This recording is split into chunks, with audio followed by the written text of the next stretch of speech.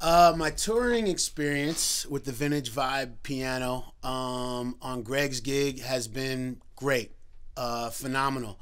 From the second I started using it, at first guys were like, "What? What are you bringing out? What's going on?" And then I was like, "You know, yeah, man, it's a it's an electric piano." And once I uh, from the first gig, guys that have been with with Greg for for years, twenty years, were like, "Man, that thing sounds incredible. You know, um, even before anyone hears it, just seeing it and all the sparkles and everything, everyone's just like, man, that's the coolest thing. What is that? What is that? What is that? Yeah. So everyone's psyched about it. And then when I plug it in, I mean, everyone that's heard it has loved it. There hasn't been, I mean, there hasn't been one person that's said anything bad about it. Yeah.